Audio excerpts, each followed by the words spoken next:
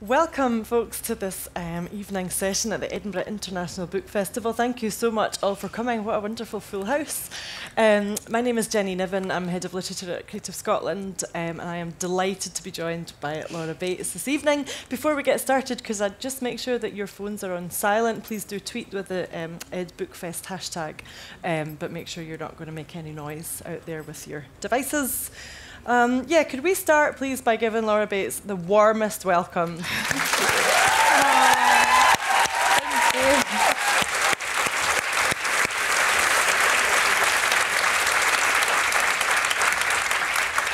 Not much encouragement needed there. You're in a, in a safe space. That's nice.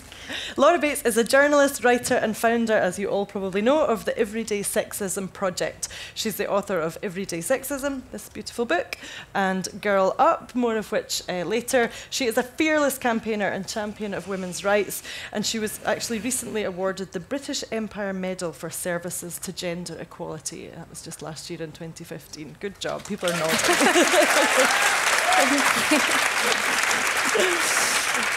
There is so much to talk about um, that we are going to dive straight in. We're going to talk a little bit about um, the Everyday Sexism Project, um, a few of the kind of key issues in there, um, and then I'm going to, after about halfway through, probably open the floor to you guys because it feels like this sort of event that people are going to have a lot of things that, that you want to say and that you want to ask, um, and I'm not going to hog Laura for the whole time.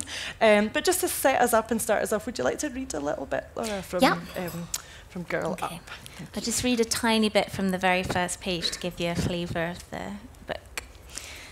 You've been getting messages since you were a baby. Messages about who you are and what you're good at, about how the world sees you and what you should do if you want to succeed. They're the kind of messages you don't really think about because they're all around you all the time. They said you need to be thin and beautiful.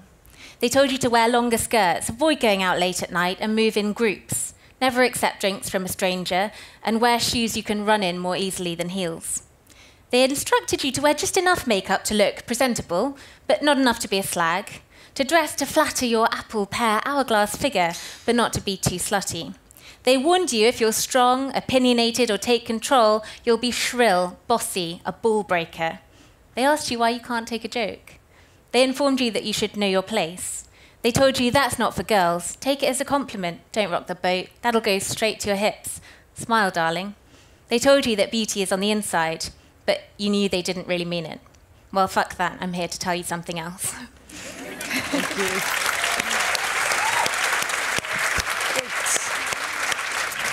So, Laura, just to um, start us off, you talked about, I think it's in Everyday Sexism rather than in Girl Up, but about there being a tipping point for yes. you that kind of brought you into working in this field. Can you just tell us what your tipping point was?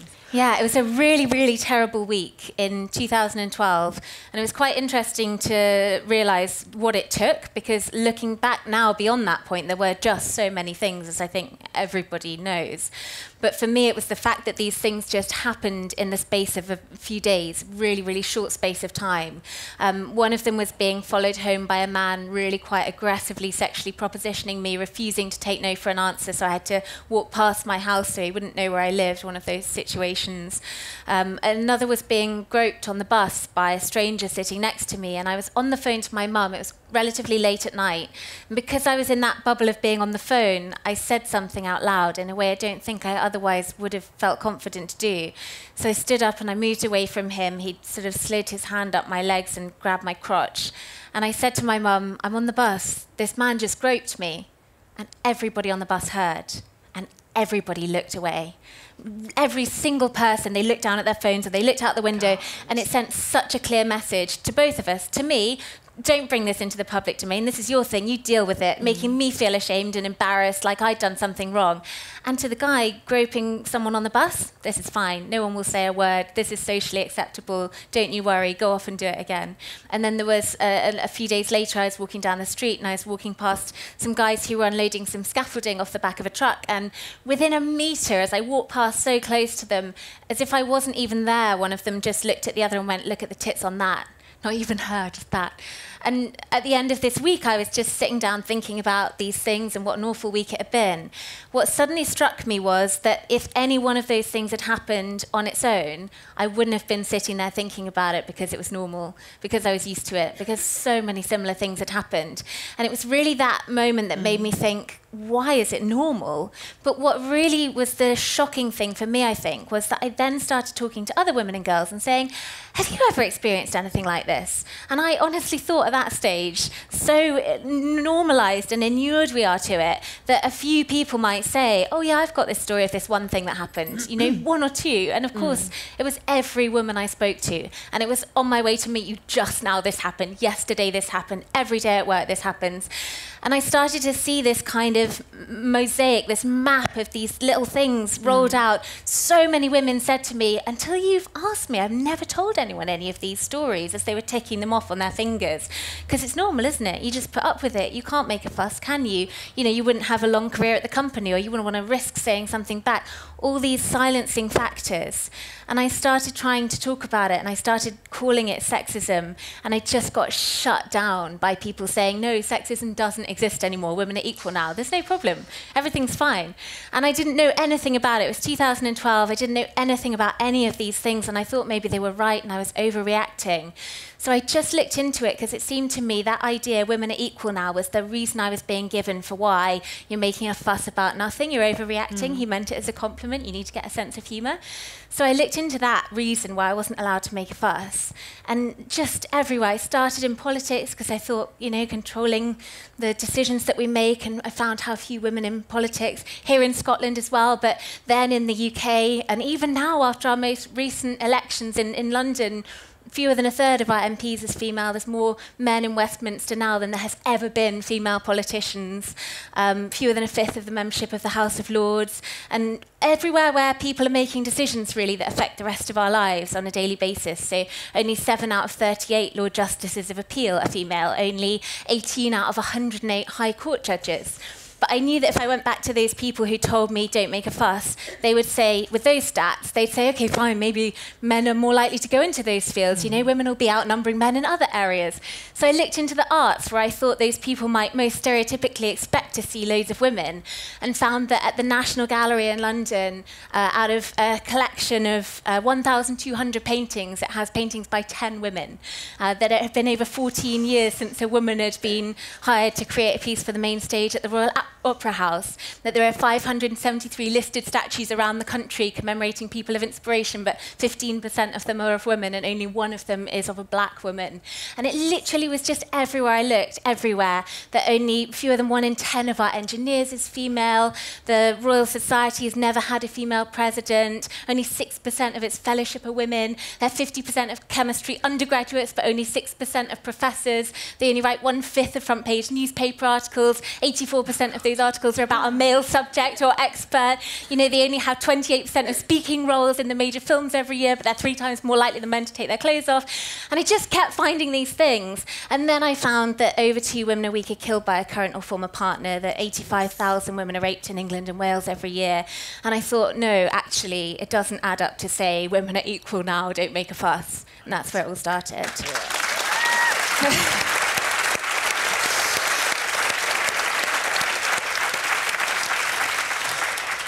So, how did that then lead on to the Everyday Sexism project itself? Well, I figured I couldn't try and solve a problem if people wouldn't even accept that it existed. There was yeah. a missing step there. And I thought, actually, before we can even begin tackling it, maybe there's just a, an awareness thing that's missing. Um, so I thought, what really, because I hadn't realised either until I'd heard all these amazing women's stories. So I thought maybe I could do that for other people. Mm. If there could be some way that we could all put our stories in one place, then you can't say you're making it up, you're overreacting, because here are 50 people who've experienced the same thing. Mm. And it was really that, at the beginning, it was that simple. I thought maybe if 50 people's stories ended up in the same place, then the next time we have these arguments, we can say, look, this is a problem, it is happening, it's not, you can't just say it doesn't happen. And I really just, that was what I, I thought. I thought it would be 50 stories. um, and I thought that was that, that would be it on my Facebook wall. and the numbers now are what, It's now uh, around 120,000. Yeah. It's pretty extraordinary. Yeah. But when you list all of those injustices and all those terrible statistics, I mean, I, I found myself in rooms um, recently in a few different situations with groups of feminists, Mm. other women who are talking about these issues. And almost every time I find somebody of um, either my generation or older who are feel aggrieved and upset and don't understand why things haven't got better. Because m myself, I mean, I studied feminism at university some time ago, um, and even at that point, it felt like because we've explored and raised these issues, we've come a long way. We all understand what the problem is. Um, you know, there, ha- there have been some changes in society and things are different that would suggest that it's heading in one particular direction. But 20 years later, it doesn't really look that way. Yeah. Um, what, what is happening? Why do you think that that is the case? Well, I think part of the problem is when we say we all understand what the problem is, mm. we all understand what the problem is. But I think there is still this massive amount of misconceptions about feminism, misconceptions about the problem, people who don't realise how bad it is.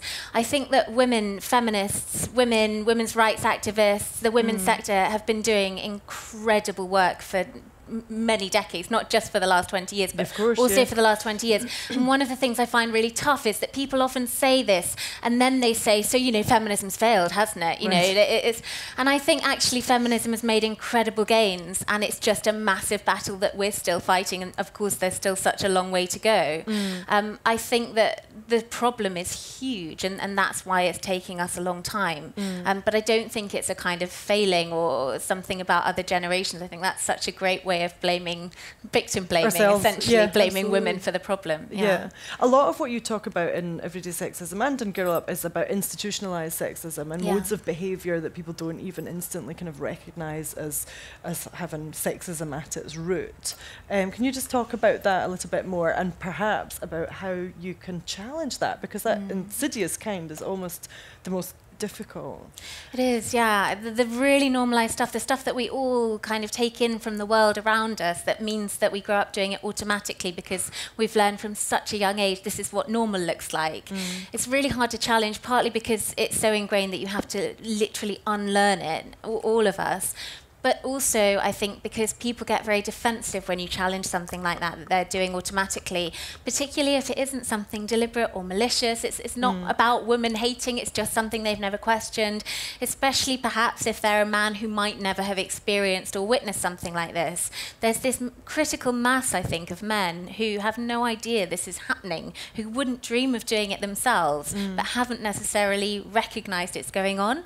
And that's hard to challenge because there's an immediate knee jerk reaction of you must be trying to blame me for something. Right. But also institutionally, this is written into the, the buildings and the structures around us, from our politics to our media.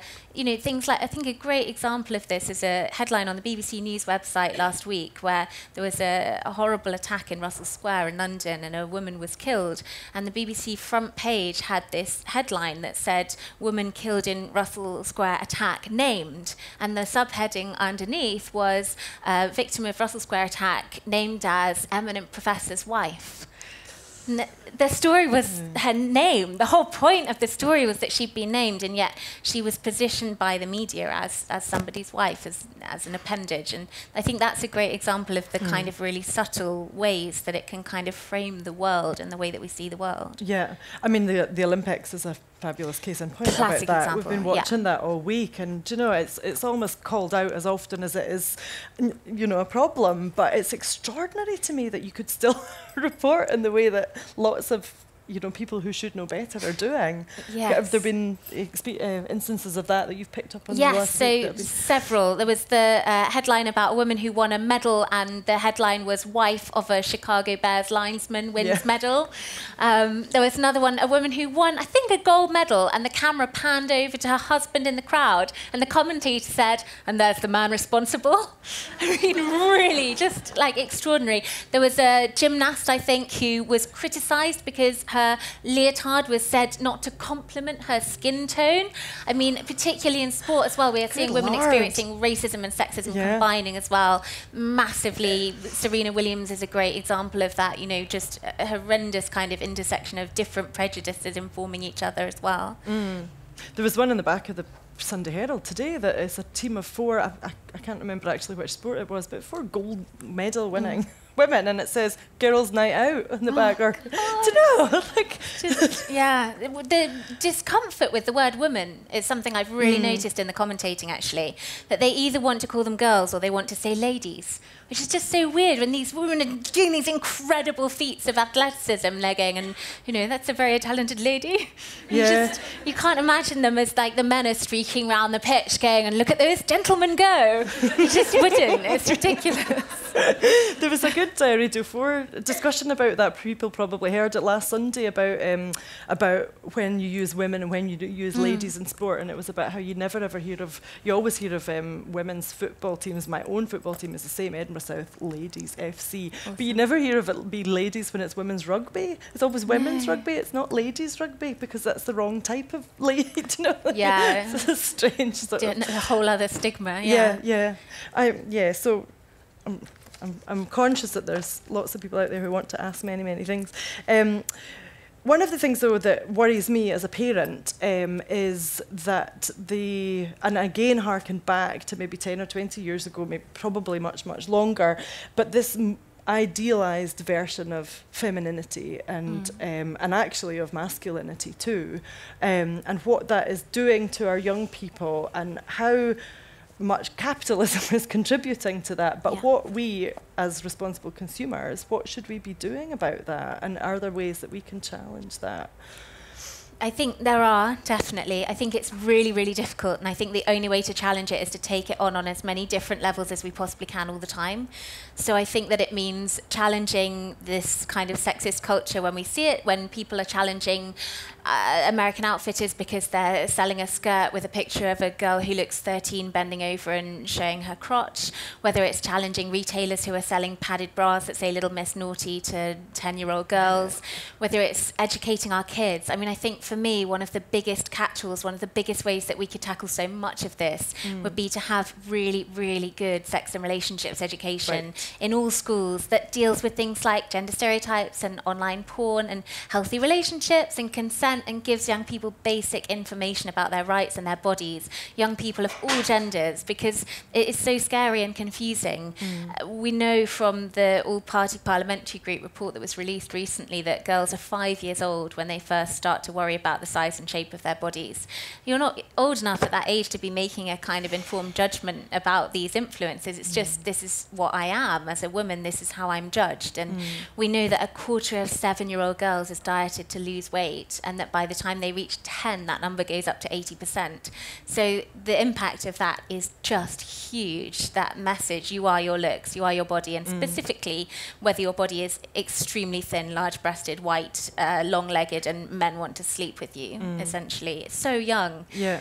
And we could do so much, I think, to offset it. There are just so many of these influences. We know that young people are massively influenced by online porn, which often yeah. shows women being hurt and humiliated. And I see this firsthand. You go into a school and you talk to a girl of 13, and she says, I'm so scared to have sex. I cry nearly every night because a boy showed me a video on his mobile phone, and I didn't realize that when you have sex, the girl has to be hurting and crying. And if there's no one anywhere else in their life saying, oh, hey, by the way, this is what sex might be like and this is what consent means, then you think that's real. And that's scary for, for anyone. Mm. I was in a school, the, one of the most tragic things ever recently, where they'd had a rape case involving a 14 year old boy. And a teacher had said to him, Why didn't you stop when she was crying? And he had looked straight back at the teacher and said, Because it's normal for girls to cry during sex. And these are the kind of things I'm hearing in schools really regularly. Rape is a compliment, really. It's not rape if she enjoys it. You can't be raped by your boyfriend because you have to have sex with your boyfriend. A rapist is a stranger in an alleyway. Mm. You know, we, we obviously assume that we have to teach kids how to make change in a shop so that they can go out and have that universal experience of shopping for food. We teach them how to read maps so that they can physically get around in their life. Here's another universal experience, mm. and we give them nothing to help navigate it. It makes right. no sense. So that leads us very neatly on to Girl Up, yes. doesn't it? What was the project behind that? Behind that? Well, it was kind of that really, this endless frustration of going into schools, recognizing how much confusion there was, also going into universities, just basically talking to young women about the bombardment that they were experiencing. Mm.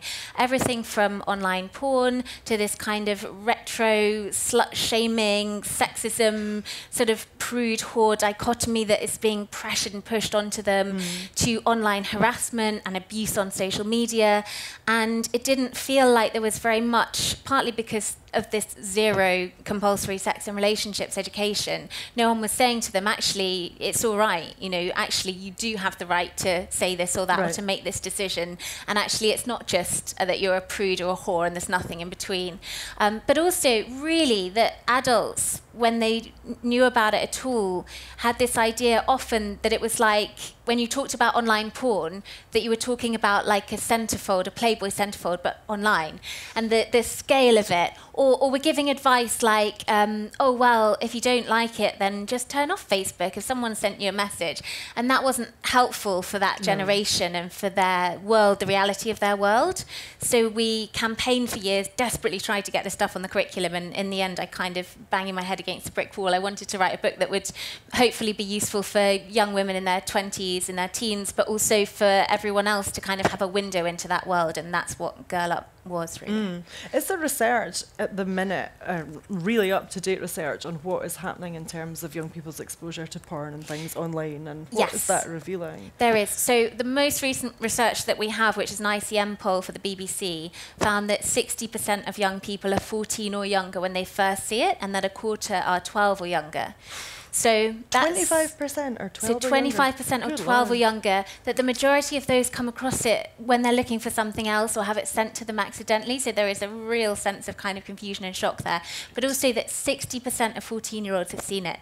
And that's so crucial because when we talk about sex education, you always get MPs, usually conservative MPs, saying, oh, no, no, no, we can't expose them to that kind of thing. You know, I don't want you talking to kids about sex. Sex you know, or um, someone in Parliament stood up recently when they debated it and said it will send up the rates of teen pregnancy.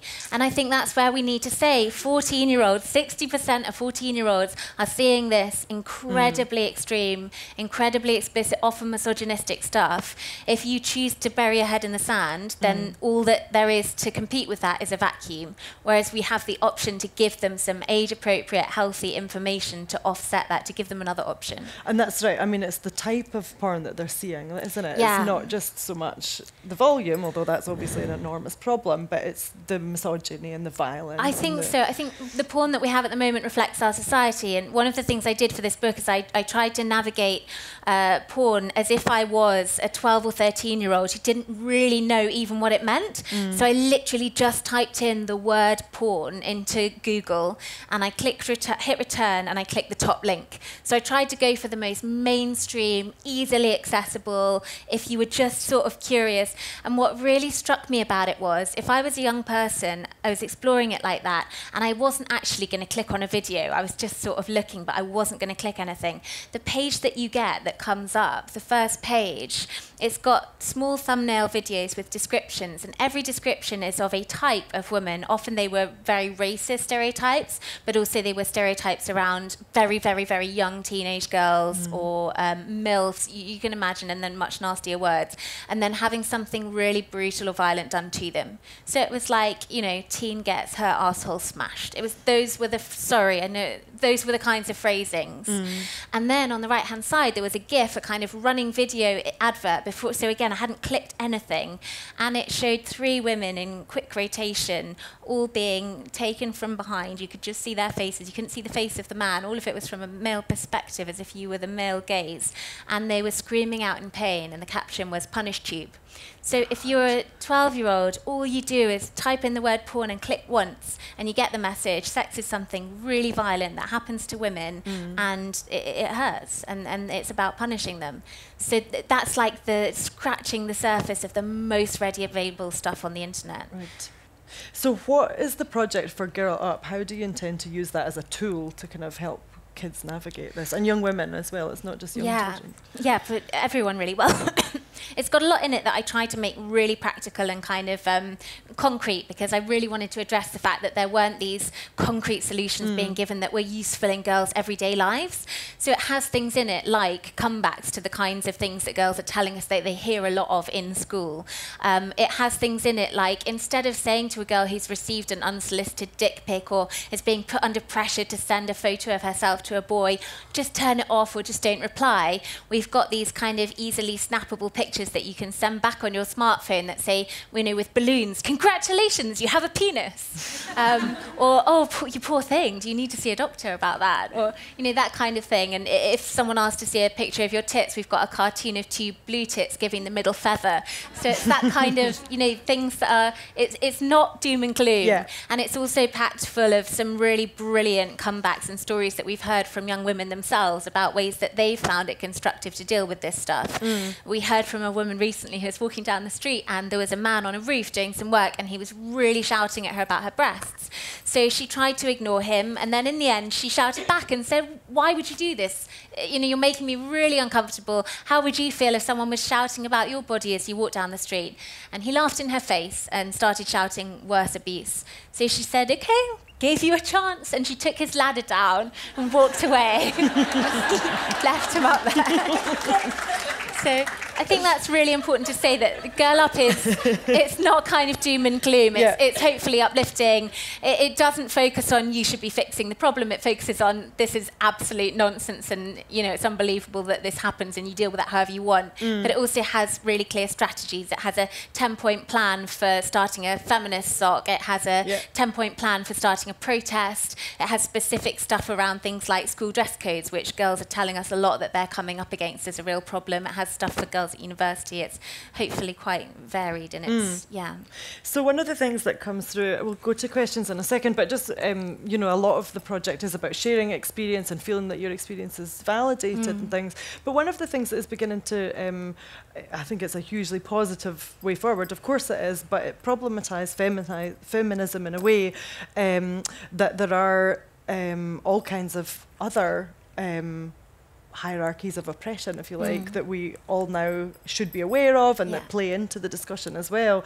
Um, and that's a kind of characteristic of current day feminism, yes. I think, that was not around um, until quite recently. Um, do you want to just say a bit about that and how we navigate that and why it's important that that exists? but that, yeah. yeah I think it's one of the most exciting things about this sort of wave of feminism, whatever you want to call it, or, or wherever we are, that there is this kind of diversification of, of voices, mm. not enough by any means, but that very much, and particularly with, with young women when I go into schools and universities, that intersectionality is kind of the number one priority that new feminist societies are talking about and right. being aware about. And I think that it's just, it, it's, it's high time and it is so hugely important. You see this really, really clearly, and it came out really early in the Everyday Sexism Project entries, because from really early on, we were receiving stories from women who were experiencing sexism and they were also experiencing other forms of prejudice. Mm. And what those everyday sexism entries make really clear, I think, is that these aren't separate problems that we can neatly compartmentalize.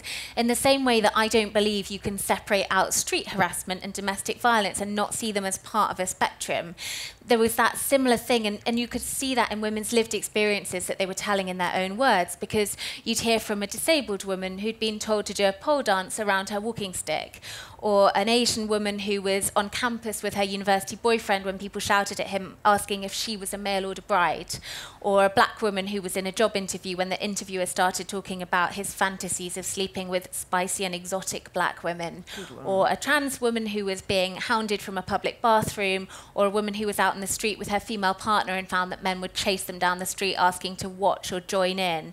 And very clearly, older women who again and again used the same word across thousands of project entries, the word invisible. Older women who wrote things like, as a woman of my age, while I see my male peers often being being kind of consulted for their expertise. You wonder perhaps why so many older women wear bright coats. It's because we're afraid that people will walk into us.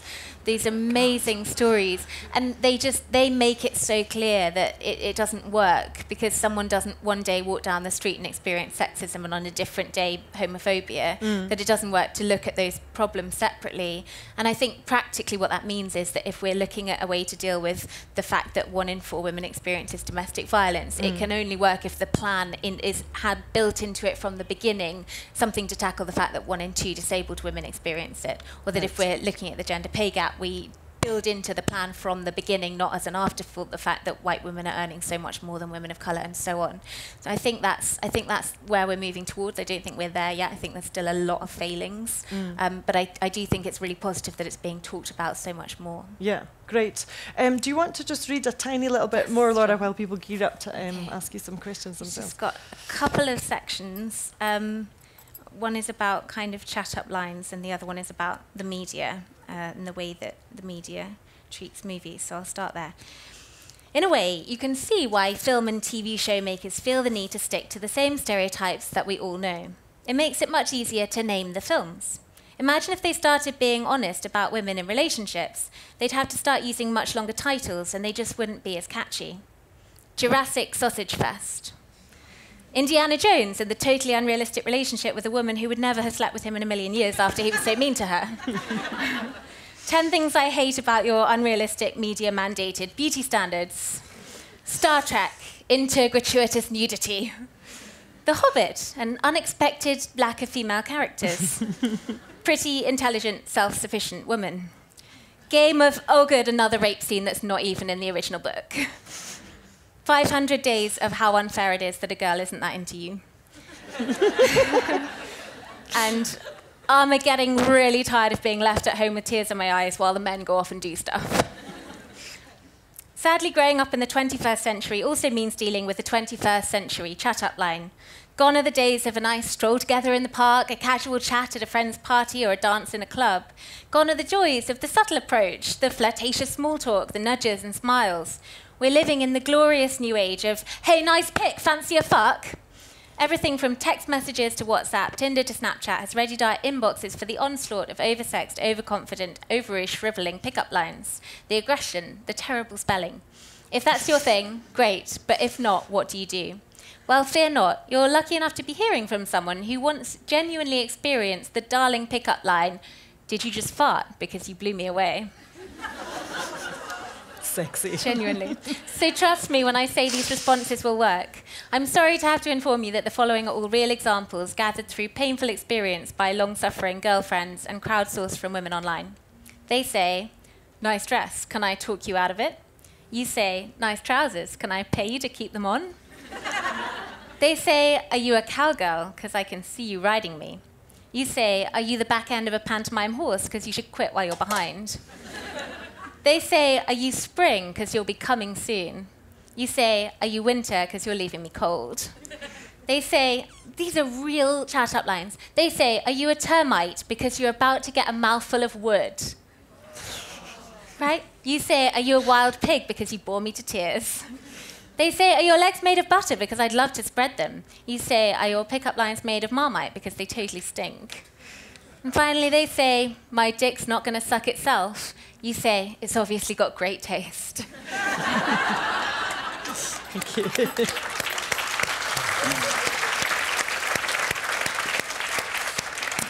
All right, folks, there should be mics, I think, at both sides, or maybe just one there. So if you wait for the mic, um, we've got some questions. Up in the middle, in the back there.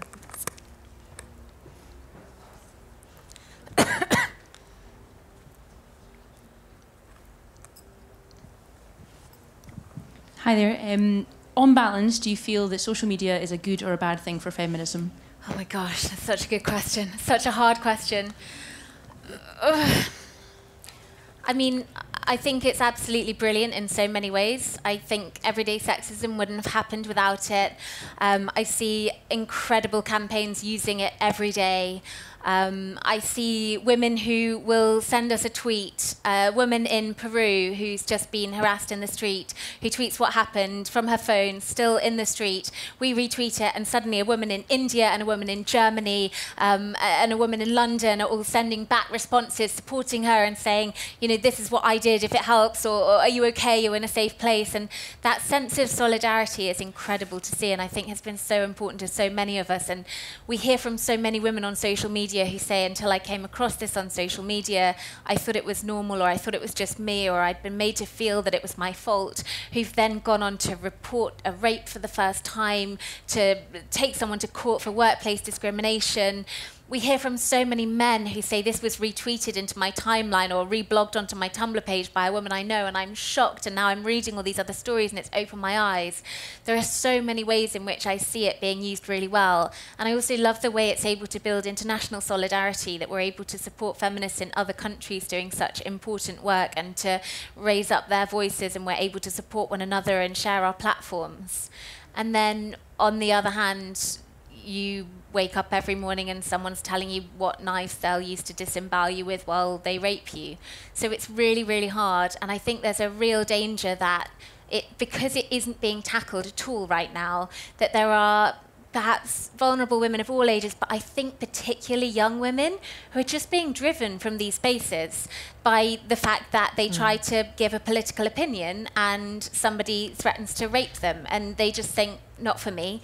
And because we have this younger generation at the moment who are so often labelled politically inactive or apathetic, when actually they're disillusioned with mainstream politics, so they're cutting their teeth online, they're having these debates online, that's where they're going to learn how to debate, how to construct an argument. If we then disenfranchise them out of those spaces, that is a real loss that this whole generation of young women is losing mm. that space. And it's ironic because we hear endlessly about the freedom of speech of the men who say these things to women online, but what about the freedom of speech of those women who are being driven out of those spaces?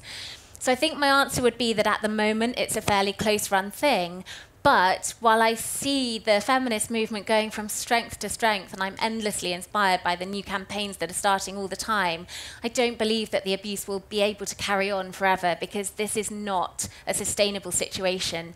And I think that eventually law enforcement will have to catch up. We will keep mm. putting the pressure on, it will happen. But also, social media companies have got to take accountability for protecting their users. And sadly, I think that will only start to happen when it starts to affect their bottom line. But it will, because people will eventually vote with their feet.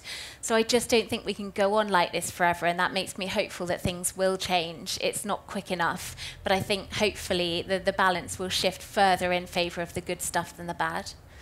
Are there any moves uh, with Facebook in particular at the mm. moment to redress some of that imbalance? You know, the thing that allows there to be people posting all kinds of pictures of really pornographic, explicit things, and then women get blocked for showing pictures of themselves mm. breastfeeding. Like, I mean, yes, is that being it's challenged? Unbelievable. It's being challenged. There are so many women doing incredible things around that double standard, particularly mm. women running great campaigns about breastfeeding and mastectomy and periods and that kind of thing. Um, we ran a campaign a couple of years ago um, around the really explicit, graphic, abusive content on Facebook. Mm. So stuff about rape and domestic violence. And Facebook did change their policies as a result. Right. The problem is that it takes a very long time for that stuff to have a trickle down impact. And really, it's about retraining their moderators, which is still an ongoing process. And are they and on doing them taking, right now? taking action. So they have definitely taken action right. on it, but clearly it's not enough. It's not working quickly enough. It's so huge, and there's very little incentive for them as mm. long as we, unless we're all shouting all the time. Right. So it's it's an uphill battle, and they are so far from dealing with it. But mm. hopefully, it's the kind of thing that people are taking them on and challenging them and pushing them, and it will eventually force them, shame them into yeah. getting better. Yeah. Um, if anybody's interested, the and just when you mentioned breastfeeding and campaigns, there's a fabulous video that the um, poet Hollie McNish uh, mm. released last week. Yes. I don't know if people have seen that yet, but it's just a brilliant, brilliant long form poem um, that uh, yeah, champions breastfeeding, but it's done, done in yeah. inimicable Hollie McNish style. It's fabulous. It's worth looking for. Um, do we have any more questions? Yep, there's one in the end there. Hello. Uh, do you have any sympathy with situations where boys are bullied um, uh, and by over controlling, domineering mothers, And can this cause later relationship problems with women? Um, well, I definitely have sympathy with boys who are experiencing any kind of abuse or any kind of harassment in, in any relationship. And I think it is really important that we try and increase the um, the confidence of those boys in feeling able to report what's happening. That's partly why I feel like sex and relationships education is so important because although we know that this is a problem that enormously disproportionately impacts women, we know that it is a gendered issue. We also know that our society's gender stereotypes that say boys are tough, men don't cry, actually make it very difficult for boys to come forward and report issues of abuse or sexual abuse. So I think that it's of course, I have sympathy with boys or men in those situations, and I think it's really important that we're trying to expand the conversation at school around these issues wider than saying this is what boys will be boys and this is what girls do. Um, in terms of whether or not a relationship with a, a mum can uh, impact on someone's later life relationships. I'm, I'm sure that is possible. Um, but I also think that boys are impacted by the world around them and the messages that they get sent from the media, from the way that we treat female politicians, from social media, from the websites that are particularly targeted at teenage boys, websites about being a lad, about being a student, that encourage them to dehumanize their female peers, to see them as mm. simply a number out of 10, to use words like slut, slag, milf, bird, chick, tramp, gash, clunge, sloppy sex seconds to describe them instead of human names. So I think probably there's a lot more going on there. I think there's a, there's a whole melting pot um, that also has an impact on boys' relationships with women as they grow up. And that's why I think it's so important that we have ways to humanize those relationships and to teach all young people, regardless of gender, about healthy relationships and respect. Way up on the left here, please. Just wait for.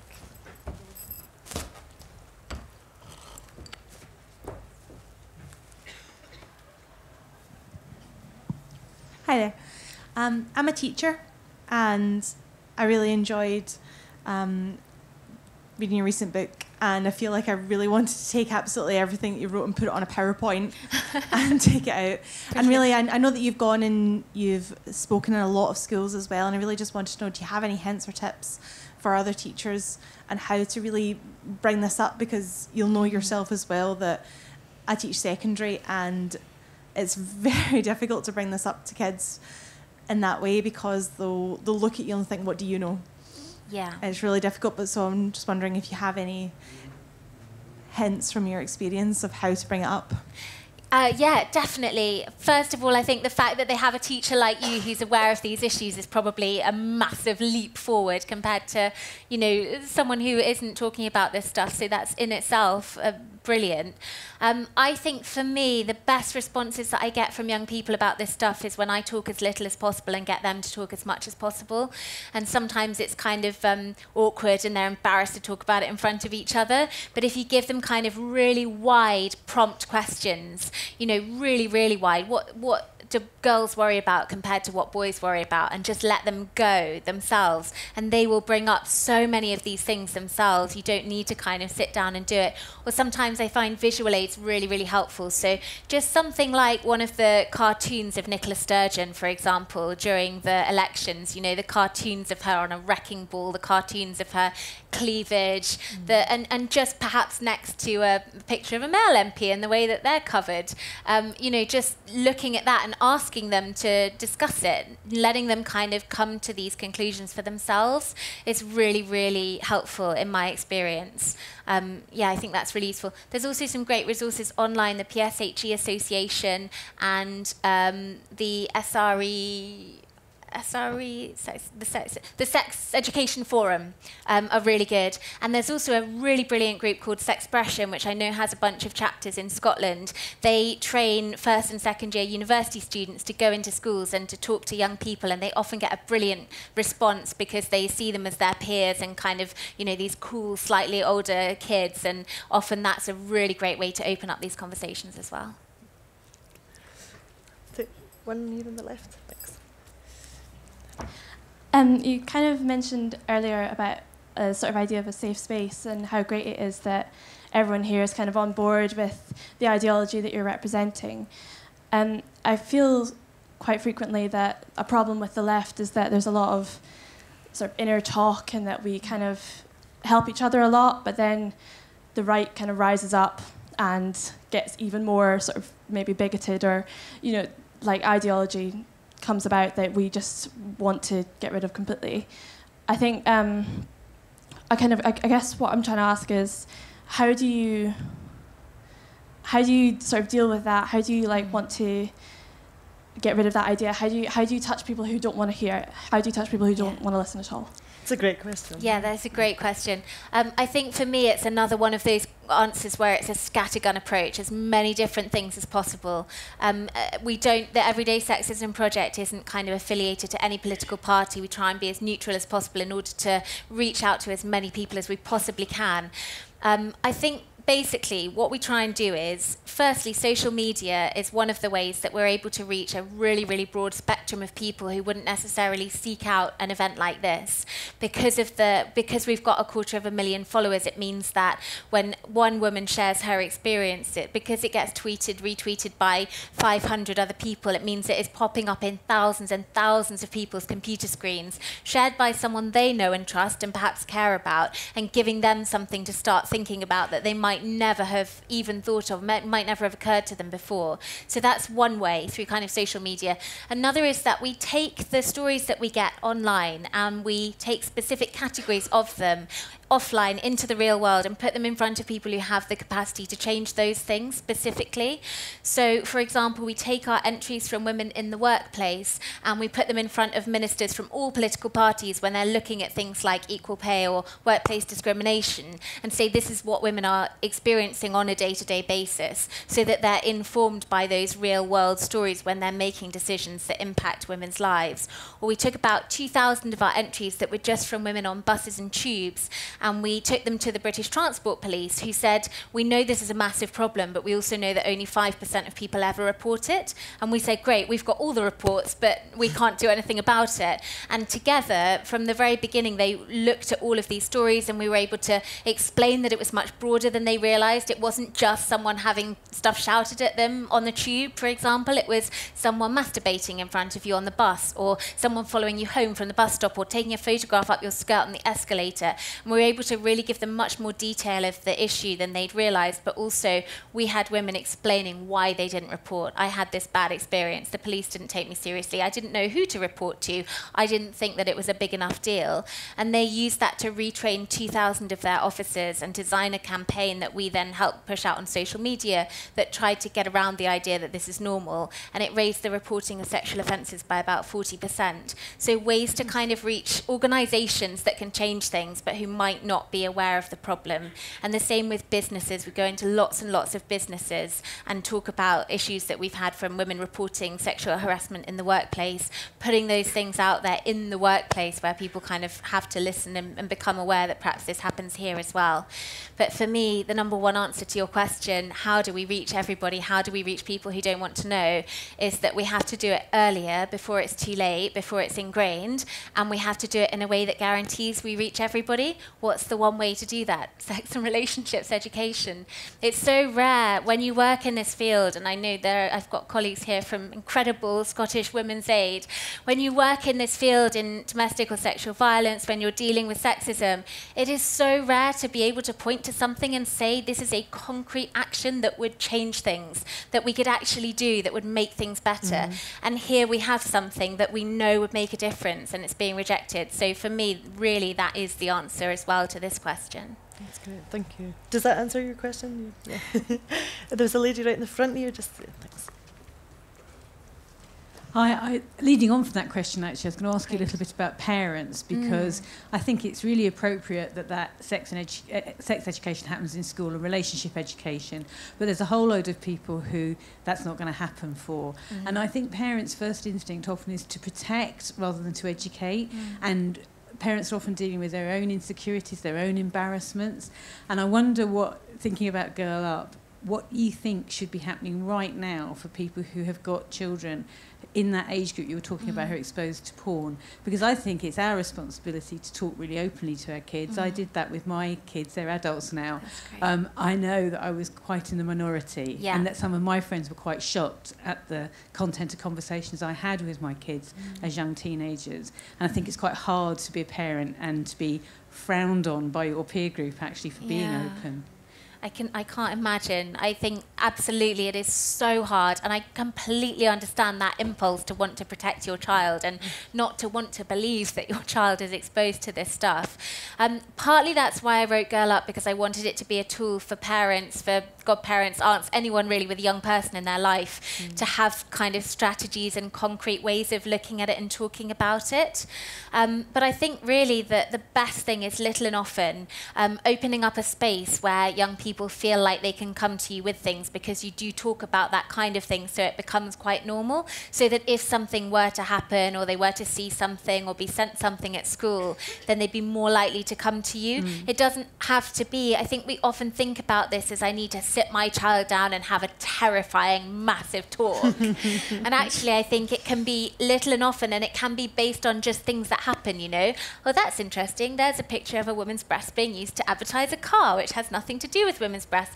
That's funny, isn't it? Let's talk about that. You know, things that as they come up in daily life, actually, you can just start building up a sense of awareness of these kinds of things.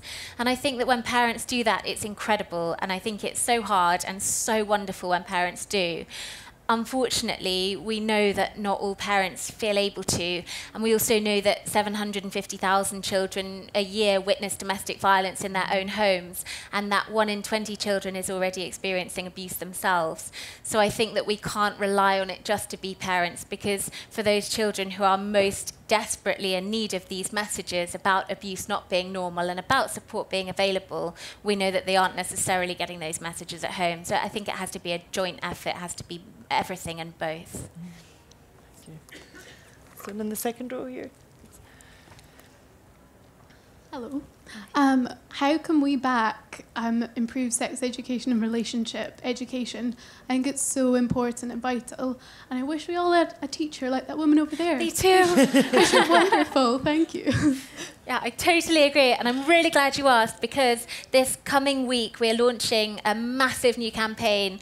Um, it's called SRE Now, Sex and Relationships Education Now. Um, the website is at srenow.org. There'll be on the website ways that you can email, ways that you can tweet, ways that you can sign a petition, ways that you can support and make noise. But I know that there is also a Scotland specific sex and relationships education campaign going on. I think it's been very active in the Scottish Scottish Parliament. I know that there are MSPs who've been backing it. I know that Sexpression Scotland has been heavily involved. So actually probably looking them up is a good way to get into that. Mm. But please support SRE now as well. That would be fantastic. That's great. There's a couple in this, uh, the chap up the back. Thanks.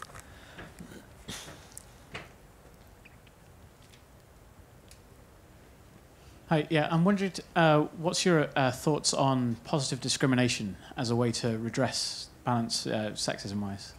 This is something I find really fascinating because when I first started working in this area, I was quite against positive discrimination. And the reason I was against it was because I felt like it didn't tackle the underlying problem. And it, it seems like saying women need a leg up. Um, it seems like saying, oh, you know, poor women, they're not achieving on their own, we need to give them a bit of help. When actually the reason that there is such inequality across the tops of business, politics, you name it, is because of the discrimination, both over and inherent, that is in place And if we don't tackle that, then if we give women a leg up, then the problems are still there in their way to deal for them to deal with when they're in those roles. So I used to be relatively against it for that reason.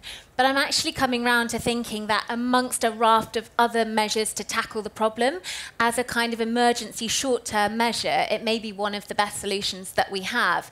And what's made me more in favour of it, actually, is how ridiculous the arguments against it are. Because when you talk to people about positive mm. discrimination, they say, oh no, but that would be outrageous because then people who weren't properly qualified would be getting the jobs You know, that, that wouldn't be fair. The best person for the job wouldn't be getting the job. And I always say, if you honestly think that that's the situation, then you have to think that right now the best person for the job is getting the job, right? If you think that positive discrimination would make it unfair by giving women a leg up, you must think right now. And what that means statistically is that you have to believe that there are three times more men named John qualified to lead FTSE 100 companies than all the women in the country, because that's the statistic that we have at the moment. Three times more men named John than women leading FTSE 100 companies. You have to believe that just by sheer coincidence, statistically, there are almost as many men who happen to go to school with our Prime Minister qualified to be in our cabinet uh, as all the women in the whole country. You know, it just, or our previous Prime Minister, I should say. You know, it just, it statistically is a ridiculous argument. Um, and so, for that reason, and also because of this fascinating stuff around implicit bias, mm. they did this amazing study recently um, out of either Harvard or Yale University, and it was published in a journal called And they sent out applications for science positions to thousands of jobs across the country. The CVs were identical, but half of them had male names and half of them had female names. And overwhelmingly, the male candidates were more likely to get the job, were offered higher starting salaries, and were more likely to be offered personal personal mentoring.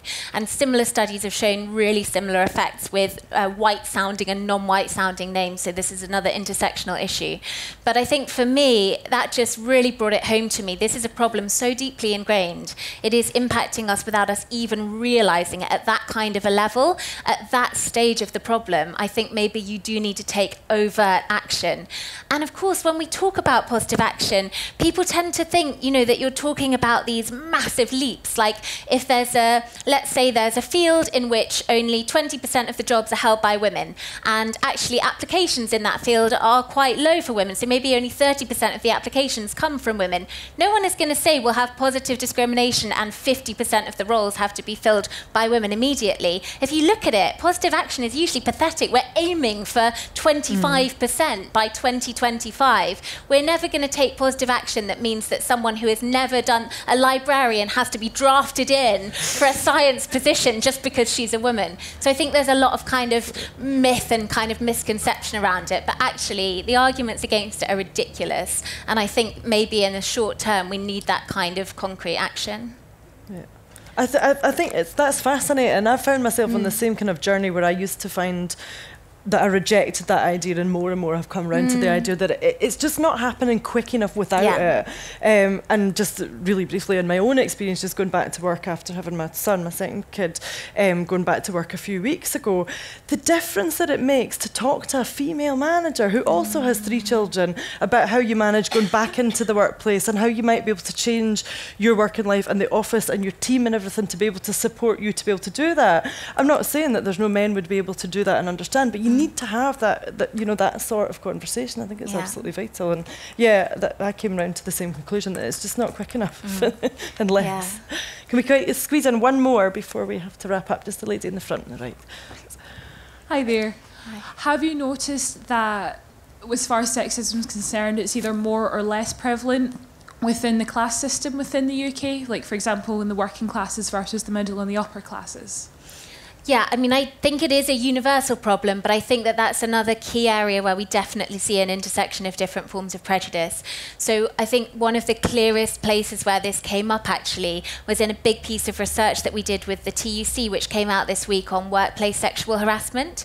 And what we found was that it was an overwhelming and universal problem. 52% of women had experienced workplace sexual harassment, 63% of young women. But what was really interesting was that when you looked into it, it was women on zero hours contracts, women in the lowest paid jobs, mm. women with the least job security who were experiencing the worst sexual harassment, who were also the least likely to feel able to report it to somebody or to complain about it, and who saw the worst outcomes when they did.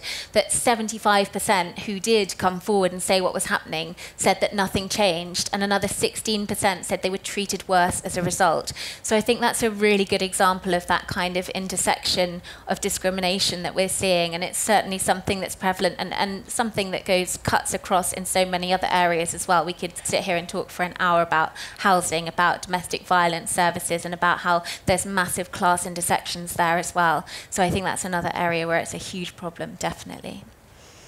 There's clearly so much to say in this topic. Can I just say, Laura, though, I, I think it's astonishing the amount of facts and information that you have just right on the surface about this topic. It's really impressive, and I think that it is the truest of the weapons that we can use to navigate mm. this stuff, to have good research and to have facts, and to have fantastically articulate campaigners who are speaking about this um, every single day. So thank you so much, Laura.